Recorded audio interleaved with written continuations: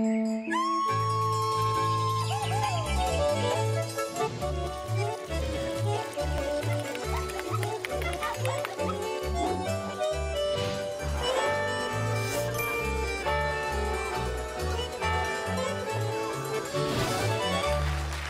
ist Bots Musik, die Sendung für die Volksmusik mit dem Nicolas Xen. Schön sind Sie dabei, Bots Musik. Heute Abend mit einem Gast, der ist nicht als Musiker da, sondern als Kenner und Experte vom Schweizer Brauchtum und von unserer Volksmusik. Manchmal wird er sogar als Folklore-Papst bezeichnet. Der Martin Sebastian. Der Martin Sebastian ist der Verleger und Chefredakteur der Folklore-Zeitschrift Alpenrose. Außerdem ist er mit dem Folklore-Nachwuchswettbewerb jahrelang ein Förderer von jungen Musikanten. Gewesen. Neben seiner Arbeit als Journalist hat er sich auch einen Namen als Experte für Brauchtum und Volksmusik gemacht. Also Folklore begeistert mich, fasziniert mich, zieht mich auf eine Art an und ich möchte sie kennenlernen von innen und außen. Ich bin ein Machertyp und ich bin überglücklich, wenn ein neues Projekt steht und wenn man etwas kann verwirklichen kann, das dann auch weitergeht, wenn ich mal nicht mehr da bin. Und da ist er herzlich willkommen, der Martin Sebastian.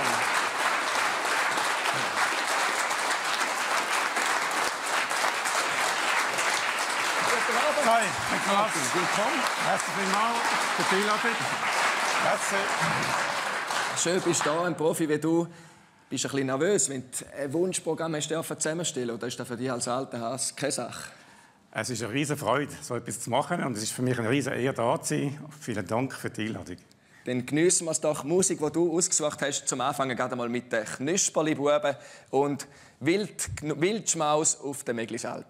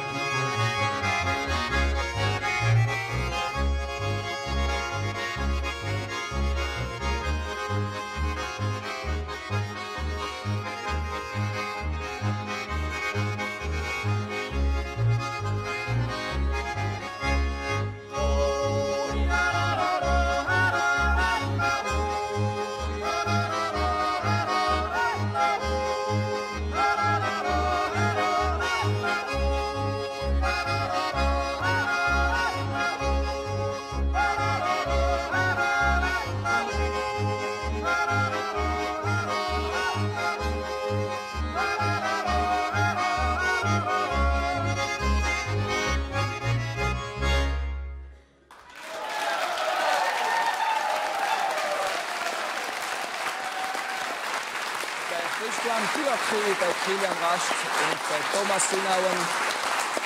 Knusperli Bube gewünscht von meinem heutigen Gast, von Martin Sebastian.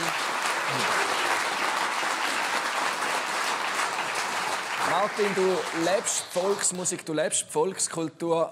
Selber machst du aber keine Musik. Nicht mehr. Früher habe ich sehr viel Musik gemacht, aber irgendwann habe ich nicht mehr alles nebeneinander durchgebracht und dann habe ich aufgehört, selber zu machen. Und befassen tust du dich aber wahrscheinlich fast jeden Tag, zum Beispiel als Chefredakteur und Verleger von der Alpenrose. Ja, ich kann sagen, sieben Tage in der Woche bin ich irgendwie mit Folklore verbunden. Ich liebe das und ich gebe eigentlich alles, damit äh, ich mich auch so gut wie möglich eingeben kann und etwas erreichen mit dem, was ich mache. Wenn man das alles so hört, denkt man, du bist einer, der in der Schweiz ewig gelebt hat, aber du bist mal fast auf der ganzen Welt unterwegs gewesen. Ja, ich habe, als ich äh, erwachsen worden bin, habe ich das Gefühl gehabt, jetzt muss ich die Welt sehen und mal sehen, wie es auch draußen ist. Und ich habe wirklich fortwählen. Ich bin weit gereist, jahrelang in Afrika gewesen und habe die Welt sehen und auch wissen selber am eigenen Leib, wie das ist, äh, wenn man anders lebt. Und wie bist du wieder heimgekommen? Ja, irgendwie hat es mich dann wieder heimgezogen. Ich hatte ähm, auch kein Geld mehr gehabt und habe wieder, wieder ein bisschen arbeiten, damit wieder reisen und bin dann hängen geblieben und äh, habe mich dann immer mehr in diese Materie geschafft. Du hast in der Schweiz einen Haufen Projekte schon durchgeführt. Du hast einen Haufen Stationen durchlebt und jetzt bist du in Schwellbrunn heimisch geworden. Wie bist du hierher gekommen? Ja, das ist eine reine Bauchentscheidung. Also ich habe äh, keine Verwandte und keine Freunde bis dorthin in Schwelbrunn. Aber ich habe eine Veränderung gesucht von Zürich weg und ich habe dann per Zufall dort äh, können eingehen, ein Haus anschauen und bin dort raufgefahren und ich habe das Gefühl gehabt, jetzt komme ich heim. Es ist wie wenn ich von einer Weltreise heimkomme und jetzt, jetzt bin ich da. Und das Gefühl ist heute noch. Und weißt du, wer das gelegen ist? Wieso dass du dich dort einfach so wohl gefühlt hast? Nein, sachlich kann ich es nicht erklären. Es war ein reines Gefühl, Gefühl vom Bauch, ein Gefühl vom Herz. Und äh, ich bin überglücklich, dass es so ist. Dann lassen wir Musik, die genau zu dem Thema passt, nämlich der Jodlerclub Schau Island. Und der Titel, gewünscht von Martin Sebastian, der trifft den Nagel auf den Kopf. «Mi Heimat». Wie schon manches Jahr in der Fremde und da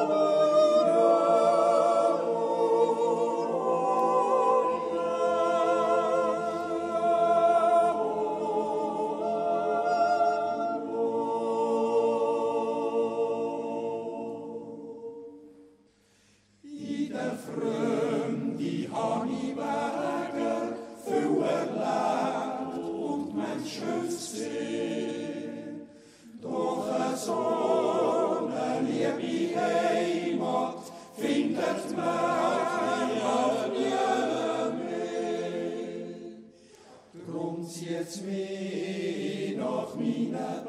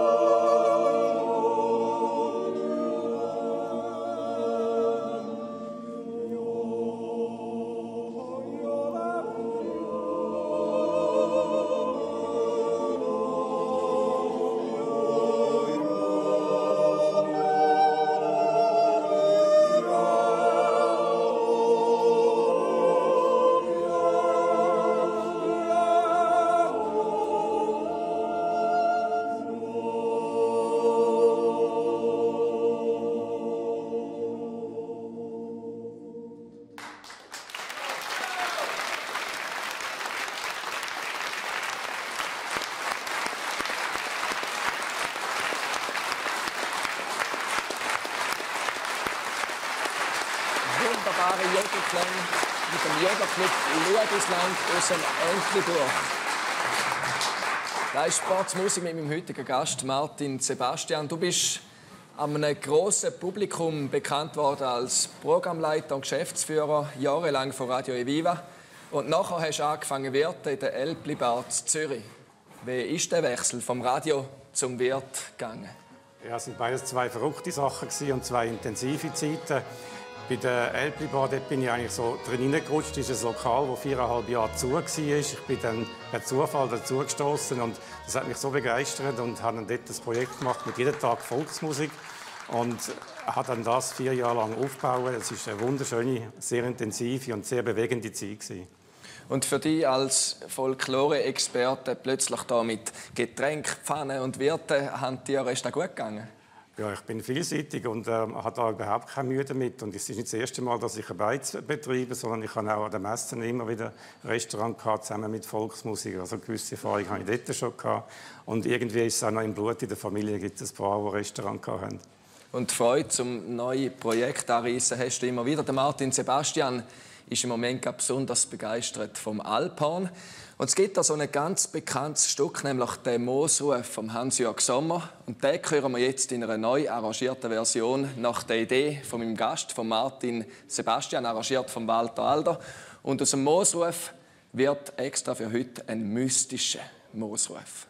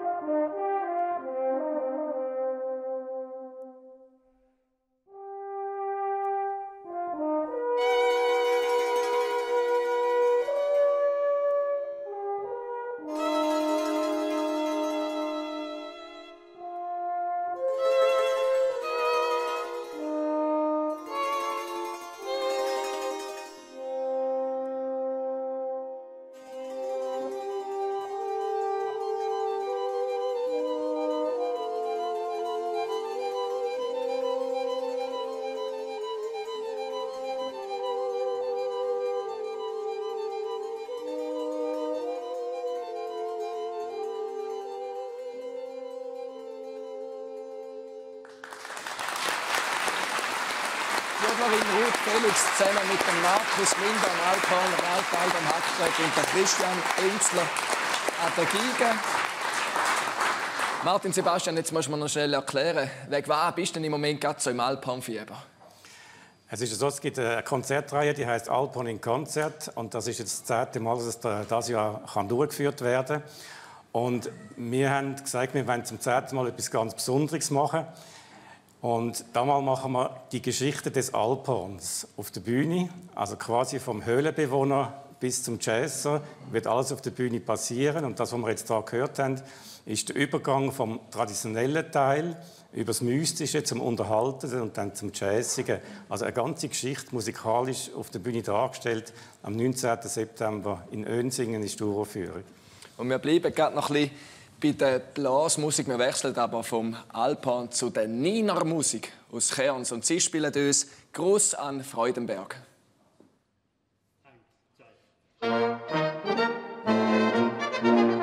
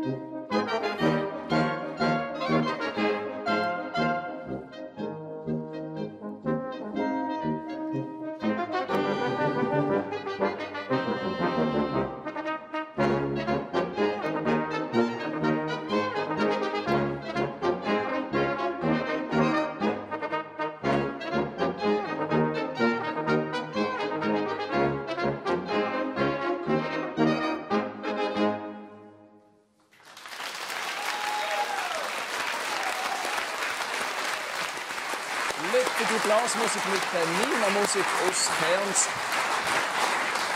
Wenn man deine Laufbahn so anschaut, ein Projekt am anderen. Eins, wo man da über die Musik auch immer wieder davon profitieren dürfen, ist der Folklore-Nachwuchswettbewerb. In welchem Zusammenhang stehst du zu dem Wettbewerb? Also das ist eigentlich mein Lebenswerk. Das ist jetzt etwas, was ich schon über 30 Jahre mache und wo, wo ich eigentlich alles reingegeben habe, was ich überhaupt kann mich engagiert habe von 0 bis, bis 5000 Volt. Es war wirklich ein großes Engagement gewesen und das ist klein ganz, vor 30 Jahren ist es ganz klein gewesen und ist erst nachher zu einem grossen Wettbewerb geworden, so wie es jetzt ist. Und ich habe jetzt das gemacht und ich bin froh, dass ich das jetzt kann weitergeben kann. Denn ich möchte es weitergeben, solange es auf dem Top-Niveau ist und dass es so gut ist, wie, wie es jetzt war. Also der VSV, der Volksmusikverband und der Jodelverband werden das weiterführen. Und beim Nachwuchs ist noch wichtig, ich habe die auch in der Alpenrose gefördert und da habe ich mal so einen Bub angetroffen, der Haftback gespielt hat. Der Nicolas Sen, das war 2004 als ich ihn porträtiert habe. Noch niemand hat ihn kennt und ich habe das Gefühl gehabt, der Junge, der wird mal etwas. Gute Wahl Und wer weiß, vielleicht sieht man ja auch die jetzige Formation, dann zumal einmal auf der Titelseite der Alpenrose. Auch sie haben brilliert am Folklore-Nachwuchswettbewerb und heute Abend singen sie bei uns in der Altrütti, nämlich das Bubenquartett Dibi Debi. Sie singen uns ganz traditionelles sennisches Zäuerli.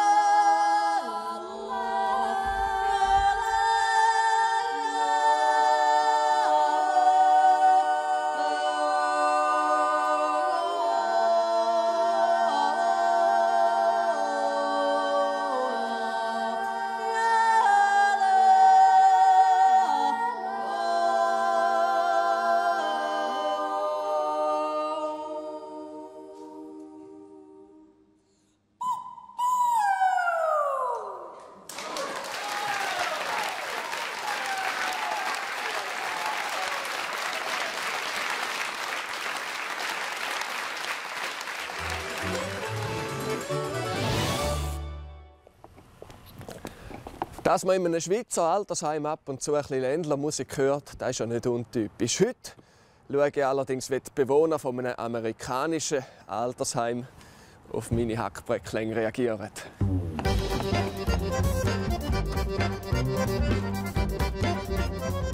Good morning. Well, hi, good morning. Do you know what I have in this box? No, it's um, It's uh, Swiss folk music. It's uh, piano? Hämatalzimmer. Oh, wonderful.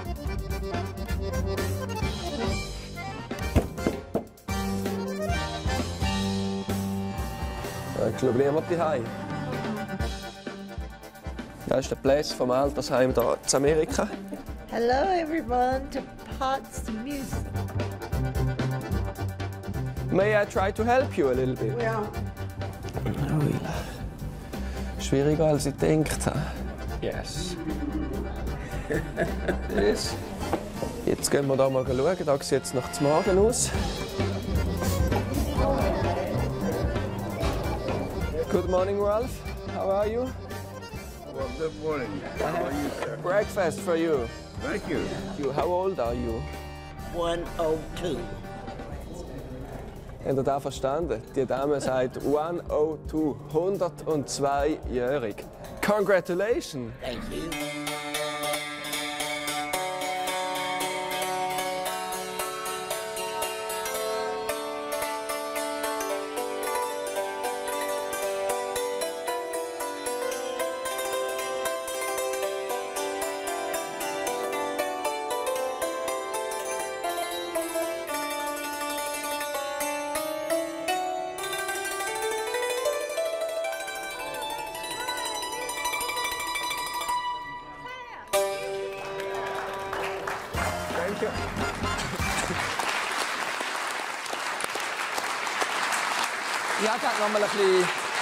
Musik für Sie auf Lager, nämlich die Ländlerkapelle Edi Wallimann Clemens Gehrig. Sie spielen Abend am Vierwaldstättersee.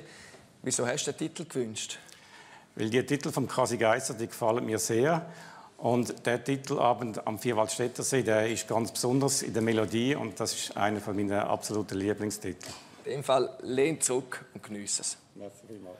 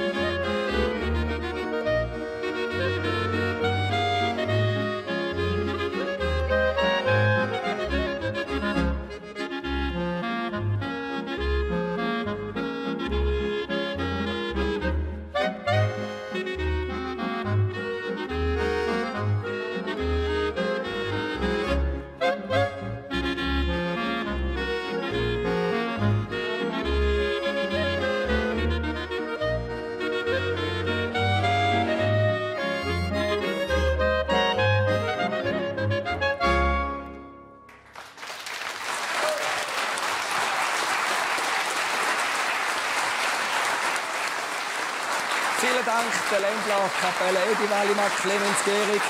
Und natürlich auch ein großes Dankeschön, mein heutiger Gast, Martin. Sebastian. Vielen Dank. Merci Hast du uns so ein reichhaltiges Programm gebracht. Liebe Zuschauerinnen und Zuschauer ich wünsche Ihnen jetzt ganz schöne Ostern. Und mehr Volksmusik im Schweizer Radio und Fernsehen gibt es schon gleich, nämlich am Ostermäntig, am 10 ab 6 Uhr gibt es eine Sondersendung zum 60. Geburtstag von Carlo Brunner. Alles Gute und noch ganz einen schönen Abend. Adi miteinander. Ciao.